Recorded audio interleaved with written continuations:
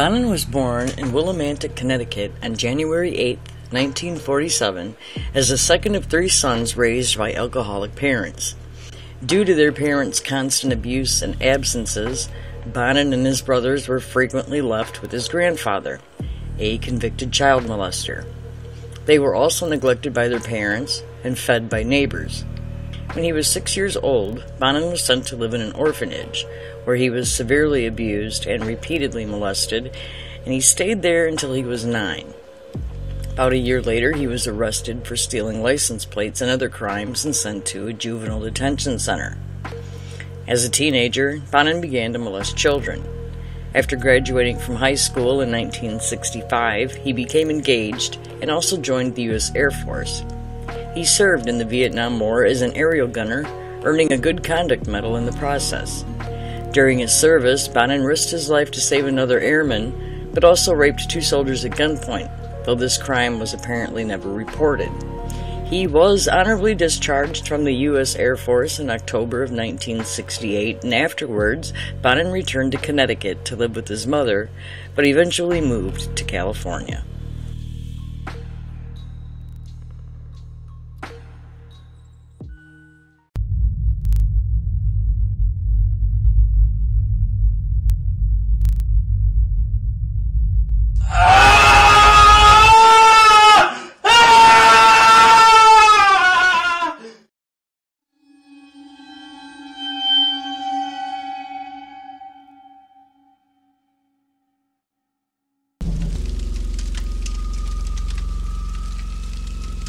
One month after moving to California, Bonin began abducting and sexually assaulting youth, claiming five victims.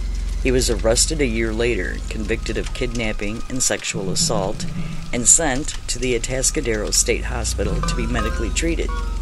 He was later moved to a proper prison after it was ruled that he couldn't be treated. However, Bonin was released in 1974 after doctors concluded he was no longer a danger to others. Personal note, what the fuck? 16 months later, he was arrested again and charged with the rape of a 14 year old hitchhiker, David McVicker, at gunpoint and the attempted abduction of another teenager, being sentenced to between 1 and 15 years at California Men's Facility. He was released on October 11, 1978, and moved to Downey, where he lived in an apartment complex. Bonin eventually found work as a truck driver and began to date a girl. In Downey, he became acquainted with his neighbor, Everett Fraser, and became an attendee at the parties Fraser held at his apartment. During one of these parties, he met and became acquainted with a factory worker and a part time magician named Vernon Butts, and a Texas native named Gregory Matthews Miley.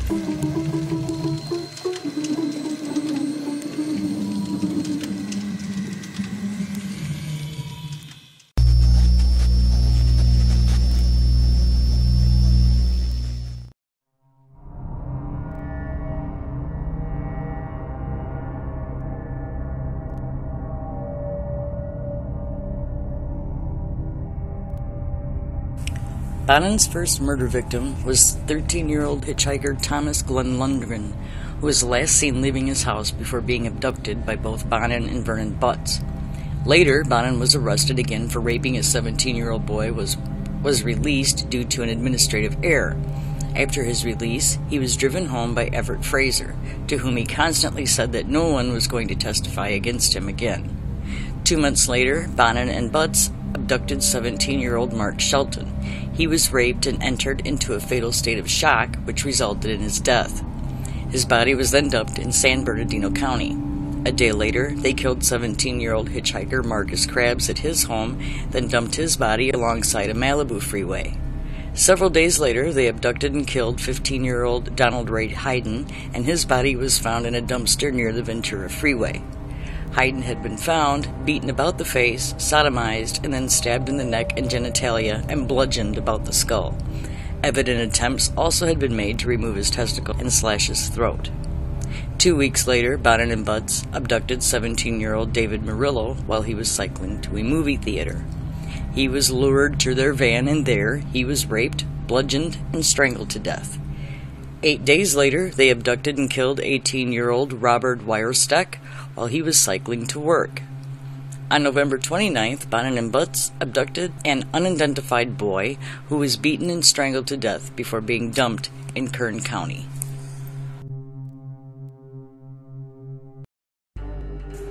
A day later, Bonin abducted, raped, and strangled 17 year old Frank Dennis Fox, whose nude body was found two days later alongside a highway five miles east of San Diego.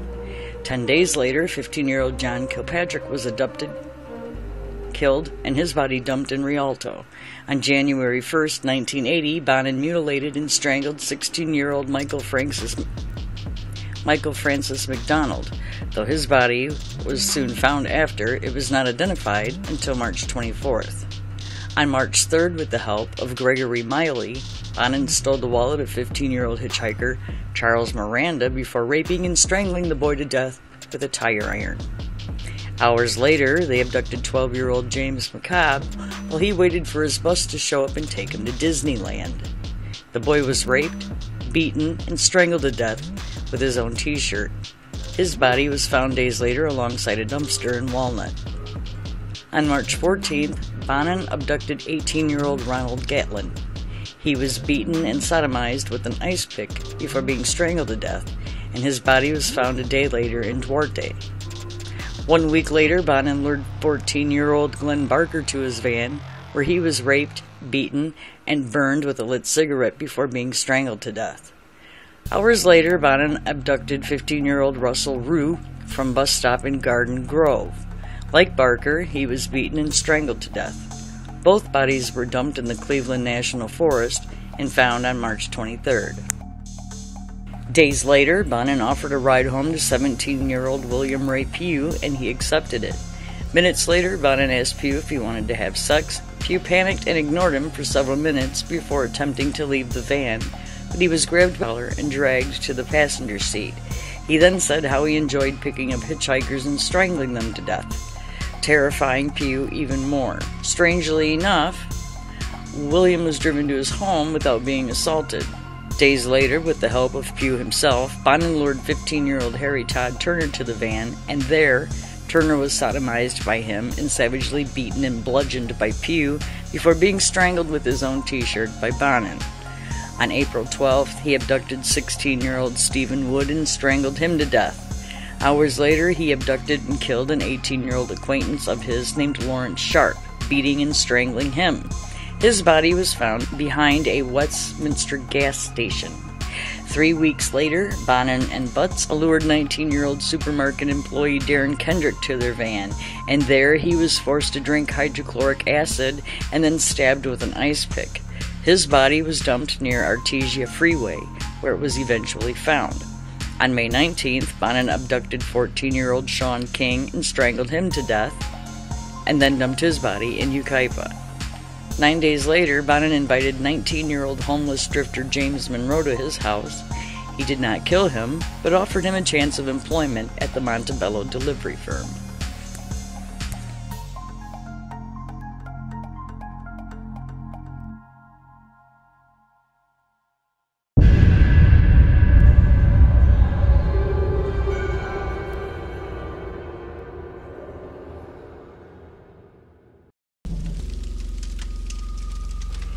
During the freeway killer investigation, in which there were two other perpetrators, Patrick Kearney and Randy Kraft, a now arrested William Pugh heard details about the case and said to a counselor that Bonin might be the killer.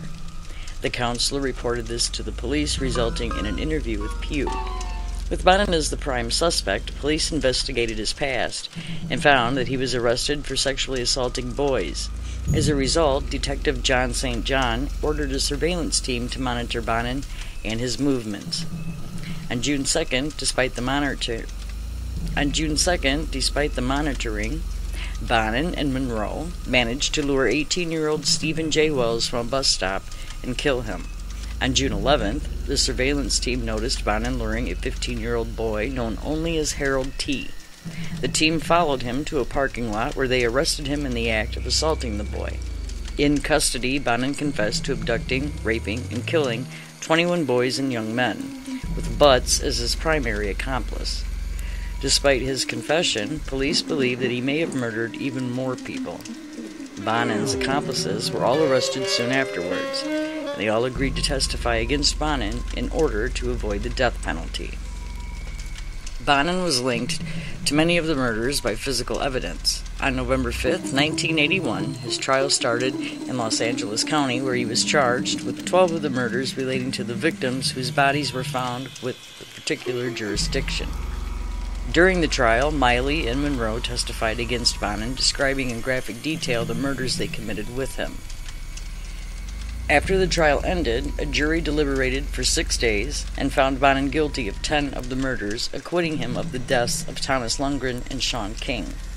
Lundgren because Bonin explicitly denied involvement. King because Bonin led police to his body and was exonerated by a related plea deal. The combined convictions resulted in a death sentence. He spent a total of 14 years on death row, during which he filed multiple appeals against his conviction, all of which were unsuccessful. And during this time, he became acquainted with Randy Kraft, another freeway killer on death row. In March 1983, Bonin went to trial in Orange County for four other murders and was found guilty later that year on August 26th. He was executed on February 23, 1996, being the first person to be executed by lethal injection in the history of California after the gas chamber was branded as a cruel and unusual method of execution by the state.